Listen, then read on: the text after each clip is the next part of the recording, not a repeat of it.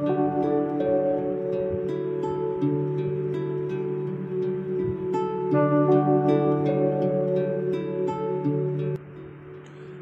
and welcome to Before Exams.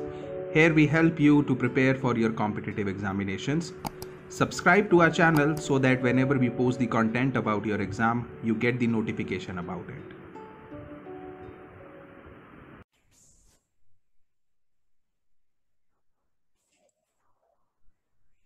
Everyone. In today's video, we will be talking about national income. We will be studying about the meaning and overview with scope and importance of national income and how it is an economic medium. Before we start the presentation, it is very important to talk about what national income actually means. As we can see here, National income is net value of goods and services that are produced in a country during a year. It also includes the net earned foreign income.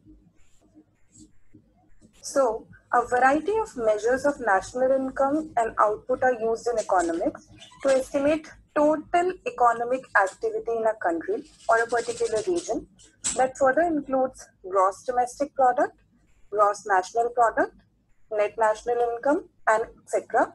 We will be talking about them at, in a later stage. But when we define national income as sort of an economic concept, it means the value of goods and services that are produced by a country during a financial year. Thus, it is a net result of all the economic activities of any country during a period of one year and is valued in terms of is valued in terms of money. National income is an uncertain term and is often used interchangeably with the national dividend, national output, and national expenditure. We can further understand this concept by understanding the national income definition. So if we define it, it is basically the total amount of income accruing to a country from all the economic activities in a year's time. The time here is one year. It further includes the payments made to all the resources, either in the form of wages, interest, rent, and profits. The term national income was used in 1868 for the very first time by Dadabhai Naoroji in his book and he calculated the national income of the country at that time. And usually it is the central statistical organization that evaluates the national income of our country. If we talk about the various methods of calculation of national income, we come across three methods primarily that are product method, income method, and consumption method. These three are the prime most methods that are used for uh, measuring national income of our country. We shall define them. In product method, the national income is measured as a flow of goods and services. We calculate the money value of all final goods and services produced in an economy during one year. Final goods here certainly refer to those goods which are directly consumed and not used in further production process. So we can say it is final value of goods and services produced in a country during one year, the net value of goods and services. They are not used any further. Moving on, the second method is income method. Under this method, national income is measured as a flow of factor incomes. We know there are there are three prominent factors of production that is land, labor and capital. So when we talk about land, the income that is generated from land is called rent. Income that is generated from labor is called wages and income that is generated through capital is interest of capital or profit. So the production the production factors are included when it comes to income method labor gets wages, salaries, capital gets interest, land gets rent. There's one more factor, entrepreneurship, which gets profit and remunerations. Besides, there are some self-employed person who employ their own labor and capital, such as doctors, advocates, CAs, etc. Their income is called mixed income. So this income method pertains to the sum total of all these factor incomes and it's called the NDP at factor cost. We'll discuss that later. Moving on, the third method is consumption method. So if we define it in the most simplest sense, we can say that when you get wages, either you save it or you use it. So when you sort of use it or save it, there's this whole formula generation that is total consumption expenditure plus investment expenditure plus government expenditure plus exports minus imports. This is the whole formula. I shall repeat it. Total consumption expenditure plus income expenditure plus government expenditure plus exports minus imports. In India, we use product and income method. We use a blend of it in order to calculate the national income of the country. Moving on, we shall now talk about the most uh, the most famous term when it comes to economics or economy. It's the gross domestic product. We've heard of this uh, word several times. We've read about it in our schools, colleges. So GDP is the total monetary or market value of all the finished goods and services produced within a country's borders in a specific time period. So as a broad measure of overall domestic production, it functions as a comprehensive scorecard of the country's economic health. Though GDP is usually calculated on an annual basis, it can further be calculated on a quarterly basis. For example, in the US, the government releases an annualized GDP estimate for each quarter and also for an entire year. Most of the individual data sets will also be given in real terms, meaning that the data is adjusted for price changes and is therefore net of the inflation. Now moving on to the basics of GDP. It includes all private and public consumption, government outlays, investments, additions to private inventories, paid in construction costs, and foreign balance trade that is, exports are added, imports are subtracted. I repeat, when it comes to balance of trade, exports are added and imports are subtracted. Now, there are several types of GDP measurement. There's nominal GDP, which is the measurement of the raw data. There's real GDP that takes into account the impact of inflation and allows comparisons of economic output for one year to the next and other comparisons over periods of time. And then there's GDP growth rate. That is the increase in GDP from quarter to quarter and GDP per capita, which measures GDP per person in the national populace. It is a useful way to compare GDP data between various countries. So if we talk about the numericals of it or the mathematics behind GDP, it is the gross value added plus indirect taxes minus subsidy subsidy is not incurred on the producer. We very well know that. It's entirely in uh, a government expenditure. So gva is added in gdp with indirect taxes and the subsidy is subtracted. When we talk about gva that is gross value added we can say that it is value of goods and services produced in an economy in a territory in a geographical territory so when indirect taxes increases, GDP increases. But when subsidy increases, GDP decreases. We should know about it. We can say uh, when we talk about GVA, that is gross value added, we can say that it is a multiplication of quantity into unit price. So whatever a produce is there, and uh, when we multiply it with the unit price, we get the gross value added and GDP is calculated at current and constant prices. We should know the difference between both current and constant prices. So when we talk about current prices, it is what prices are prevalent in a country right now. And when we talk about constant prices, it is based on the base year prices. And what is base year prices? It is a year when inflation will be less. Base year is the year on the basis of which we calculate the GDP. And when we super simplify real and nominal GDP, we can say that when goods and services are evaluated at some constant set of prices, it becomes real GDP, as in we, we sort of uh, evaluate it on the basis of a base year. So the GDP becomes the real GDP. And uh, if there is change in real GDP, that is, if there's some sort of change in real GDP, we can clearly uh, undermine that uh, production rate is changing in an economy. So when there's a fluctuation or a change in real GDP, we can say that the production rate is also changing. And when we talk about value of GDP at current prevailing prices, it becomes nominal GDP. So let's have a brief introduction about what actually a base year is. So we need base year to eliminate inflation effect on GDP and to understand the trend of economic growth. For example, let's say year 2000. In year 2000, we are producing bread and we produced 100 units of bread and prices was rupees 10 per bread. So GDP at uh, constant price will be 1000, sorry, 100 into we will multiply the quantity into price, so it will come out 1000 rupees.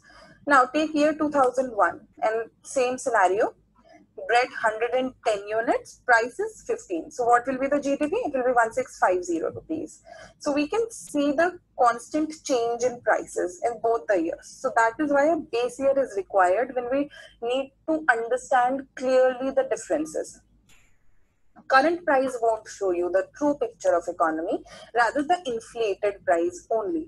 So for true picture, we need to refer to the base year since it eliminates the inflation.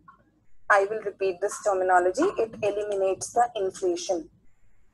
Now we'll talk about GDP at factor cost and GDP at market price. These are two important terminologies when we talk about GDP. So GDP at factor cost is GDP at market price minus indirect taxes plus subsidies. I repeat, GDP at factor cost is equals to GDP at market price minus indirect taxes plus subsidies. And GDP at market price will be a reverse of it. It will be GDP at factor cost plus indirect taxes minus subsidies. And subsidies won't be charged from the consumers. Moving on, there's one more concept that is uh, your GNP. GNP is your gross national product. It is your GDP plus X minus M. X is when someone has a unit outside India, he will bring the money back to that amount that is your income earned and received by nation within the boundaries of foreign countries. That is your X. And M is, for example, a foreigner is working in India. So whatever he's generating will be in India itself. So GNP is GDP plus X minus M. X minus M is basically India, uh, income of Indians working abroad minus income of foreigner who are working in India. As simple as that. And in closed economy, there are two types of economy, open economies and closed economies. In closed economies, GDP will always be equals to GNP for obvious reasons. Now, we will talk about the net national product, NNP. See, we know the difference between gross and net.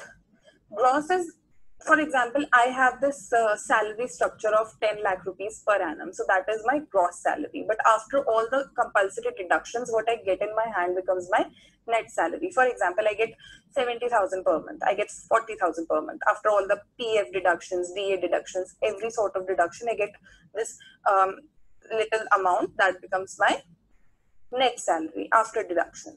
So net national product is after subtracting depreciation on the capital. So NNP becomes your GDP minus depreciation.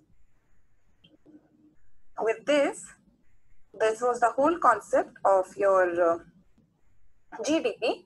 And now we will talk about the, the basic uh, units. So when we talk about GDP based on production, the production approach basically is something like the reverse of the expenditure approach. So instead of measuring input costs that feed economic activity, the production approach estimates the total value of economic output and deducts the cost of intermediate goods that are consumed in the very process, like those of materials and services. So the expenditure approach projects forward from cost and the production approach looks backward from the vantage of a state of completed economic activity.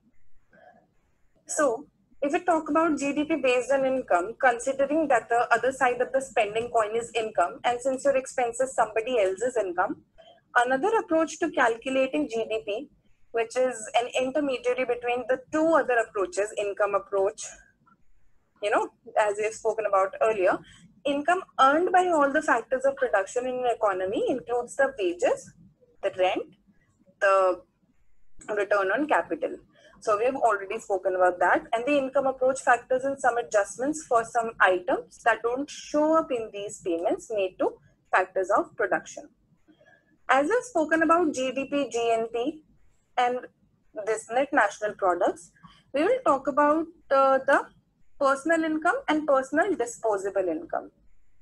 And before that, we will talk about net national product after uh, NNP at the rate at factor cost and NNP at market price. So NNP at factor cost is nothing but your national income, which we'll be covering in the upcoming videos. So whenever you hear this term NNP at factor cost, NNP at factor cost, just keep in mind that it is nothing but your national income. And it is it is your net national product at market price minus your indirect taxes plus your subsidy. We will be covering it in the upcoming videos. And when we talk about personal income and personal disposable income, just keep this in mind that personal income is the income of an individual. And personal disposable income or the PDI is income after subtraction of direct taxes. Yani PDI is your PI minus direct taxes. We'll be talking about taxes in the upcoming videos. Then comes another unit that is your per capita income. We've read about per capita income earlier as well. So it is nothing but your total national income of a country divided by the total population. So whenever somebody has to say that what is the per capita of the, of the country, you can simplify it by stating the formula that it is the total national income of a country divided by total population. And we've just spoken about, we've just read about national income. How do we calculate national income? There are several method, uh, methods to it. So that was it. And moving on, as you know that in an increasingly global economy, the GDP is being recognized as possibly a better uh, metric for overall economic health. And the GNI is your gross national income. It is another concept that is considered even better than GDP. Because there are certain countries that have most of their income withdrawn abroad by foreign corporations and individuals. Their GDP figures are much higher than those of their GNI. So, uh, after all this, we can have a um, close overview at the GNI. So moving on, the gross national income of any country. So if we simplify it in, in an easier way, we can say that the GNI is it's previously known as a GNP or the gross national product, is a total domestic and foreign output that is claimed by residents of a country consisting of GDP plus factor income earned by foreign residents minus income earned in the domestic economy by non-residents. We've just spoken about it, the GNI. So if we compare it with the GDP, there are several countries who use both the methods in order to get the final picture and it is the total amount of money earned by a nation's people and businesses. So it is very important to understand the whole economic criteria that is prevalent in any particular country because you get two pictures. You get the pictures of the foreign nationals who are residing in your country and the, your own people who are working abroad. So you get the overall picture of both the domains and it is used to measure and track a nation's wealth from year to year because that's how you know that how your economy is prospering whether it's prospering or not. And the number further includes the nation's gdp plus the income it receives from the overseas sources. There are there can be multiple overseas sources in each and every country's economy. So it is an alternative to gdp we have just read about it.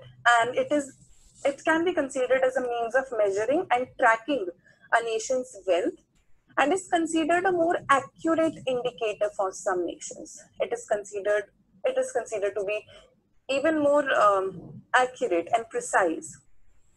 As, I, as we've just said, it is a track. So it, it has to be even more precise than what we actually get from the GDP. So it calculates total net income earned by a nation's people and businesses. It includes investment income, regardless of where it was earned. So it is an important line. It further includes investment income, regardless of where it was earned. It covers money received from abroad, such as foreign investment and economic development aid. The more widely known GDP is basically an estimate of the total value of goods and services produced within a nation for a set period, usually a year. And finally, there's GNP, which is broad measure of all the economic activities. So in this video, we have spoken about national income. We have spoken about the, the methods of national income, how we calculate national income. Then we have spoken about GDP. We have spoken about base year. We have spoken about GDP at factor cost and GDP at market prices.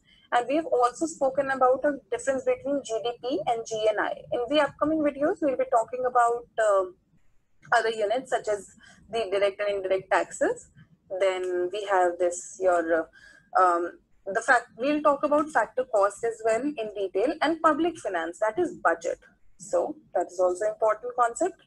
Now we shall further talk about GDP, GNP, and NNP scope because that is the criteria where you can compare the three and uh, the scope becomes an active uh, constituent when it comes to the comparison of an economy of a country.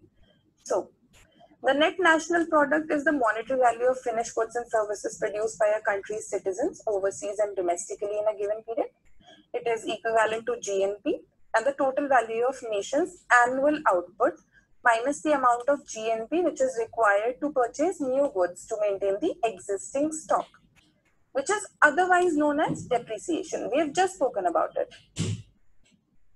So if we understand NNP in detail, it is often examined on an annual basis as a way to measure a nation's success in continuing minimum production standards.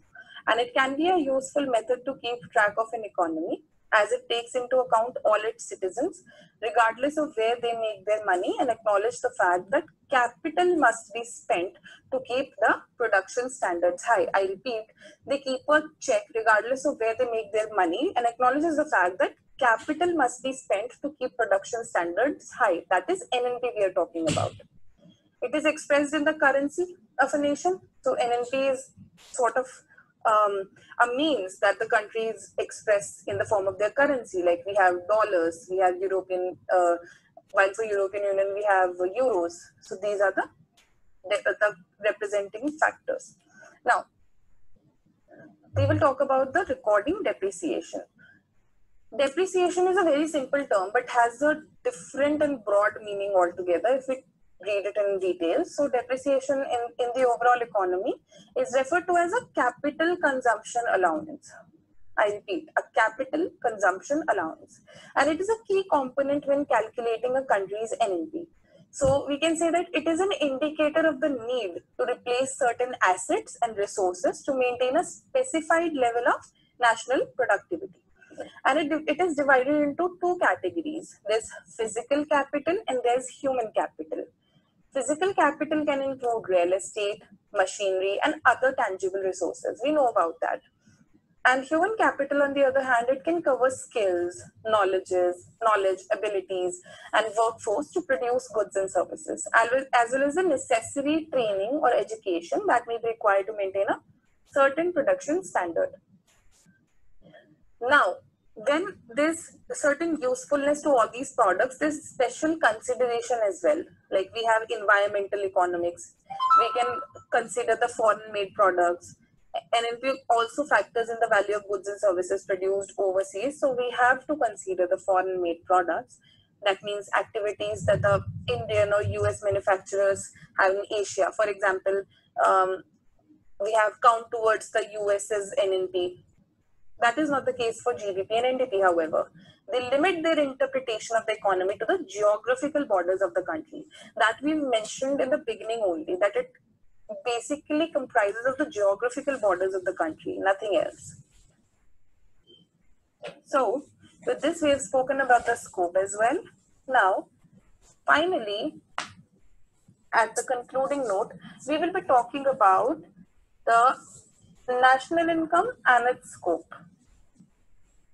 As we have just uh, seen that it is value of goods and services produced in a country and the various methods also we have studied about. But we have to talk about the scope of national economy as it's the basic concepts and how we deal with national economy on a daily. So there are various concepts, GDP, GNP, NNP we have just spoken about and it is the total amount of goods and services produced within the nation in one year and the wages, interest, rent, profit, we, uh, we calculate it on that basis. We have also spoken about personal income, disposable income, per capita income.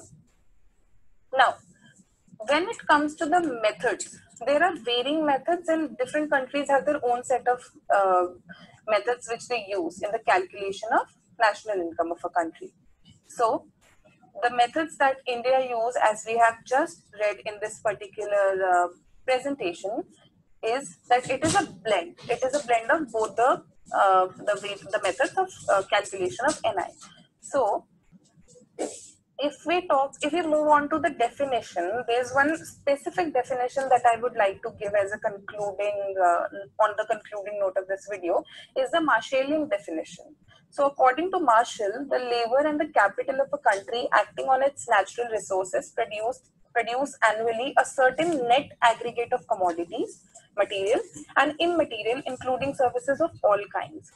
This is the true net annual income or revenue of the country or the national dividend. In this definition, the word net refers to deductions from GN, uh, your gross national income, in respect of depreciation and wearing out of machinery. And to this must be added income from abroad. So this definition is also very important. It gives you the entire overview of what national income in general is. And in the upcoming videos, we will complement this with the direct and indirect taxes and several other methods. There are certain defects also. There are certain defects to the definition I have just said. Um, this definition is advanced in a very simple and comprehensive manner, yet it suffers from a number of limitations. So there's, if we talk about present day world, we have varied goods and services. They're numerous in number that are, and they are produced and it is very difficult to have a correct estimation of them. So the national income cannot be calculated correctly. Secondly there's always uh, this fear of mistake of double counting. You must have read this in your economic books as well that double counting is the is is a very uh, predetermined glitch that usually happens and and national income we cannot correctly estimate it if certain if such chances are prevailing and we can't even take the risk. So it is not um, to the point. It is not correct. And double counting means that a particular commodity or a service eh, might get included in the national income twice or more than twice. So it won't give you the exact detail. So there were certain other scholars and researchers which gave a comprehensive yet effective definition of national income. We had a uh, we had another AC uh, Pigou's definition. We can read that on internet. And it ha- it also had its effects but it was more precise when it comes to comparing national income definition and then we had fisher's definition. He adopted consumption as the criterion of national income whereas marshall and pigou referred it to be production. So consumption was there which was new when we talk about the national income abode. Now the national dividend or income consists solely of services as received by ultimate consumers whether from their material or from the human environments. Thus, if we talk about a piano or an overcoat made for me this year, is not a part of this year's income, but an addition to the capital. Only the services rendered to me during this year by these things are income. This was Fisher's definition, precise and apt.